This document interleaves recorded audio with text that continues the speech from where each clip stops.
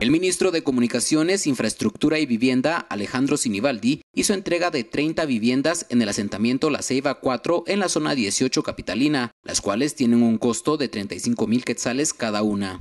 Solo en la zona 18 se han entregado 85 casas a las cuales se suman las 72 construidas en diferentes zonas de la ciudad capital, haciendo un total de 157 familias beneficiadas, según lo informado por Sinibaldi. 85 viviendas aquí en la zona 18, solo aquí en este sector estamos entregando cerca de 30 viviendas. Eh, la semana pasada tuvimos la oportunidad de entregar eh, alrededor de 70 viviendas también y es un programa que es parte de una política nacional de viviendas. El año pasado entregamos 12 mil viviendas, este año 15 mil y esperamos que el próximo año podamos entregar cerca de 20 mil viviendas.